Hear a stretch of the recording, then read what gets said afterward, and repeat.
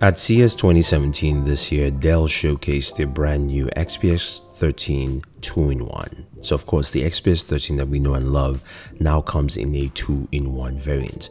Really slick looking device. You still have the uh, Infinity uh, display. Uh, resolutions can be either 1080p or uh, 3200 by 1800. Nice keyboard layout as well. Now you can see the camera positions there uh, at the bottom. Uh, you've got of course the Windows Hello camera and the hinges are to the side which allow you to fold it, put it in tent mode, put it in a laptop mode, put it in tablet mode, whichever mode you need. But what really is cool is that you know you take that display with it. It is a nice looking device. Of course it is a touchscreen display. So that means as you fold it up you have full touch fun functionality on this.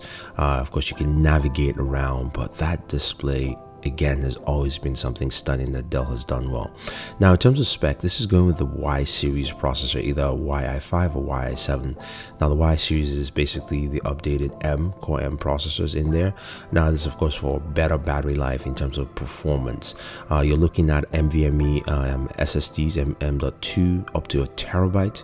Uh, for that, up to 16 gigabytes of uh, RAM in terms of uh, RAM for this device here and um, you've also got you know Wi-Fi, AC, uh, and uh, a, a, plethora of ports. Now, what about plethora of ports? It's a very thin device here. You've got uh, a USB Type C that uses for power, as well as a headphone jack, and then that button there on the far right with the five dots are for your LED for a power indicator. When you switch it around to the other side, you do have a micro SD card or SD card slot. Sorry, uh, another USB Type C port that acts as a Thunderbolt port, uh, so you can use your Thunderbolt display out uh, Thunderbolt 3 as you would expect. Overall, the XPS 13 uh, 2-in-1 is slick. It is nice.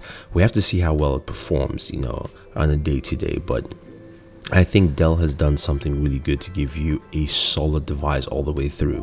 So if you guys have any questions or any comments about the Dell XPS the, uh, 13 2-in-1, let us know. Don't forget to like and share this video, favorite this video, subscribe to the channel, check out more content from us from CES 2017, and always enjoy your entertainment.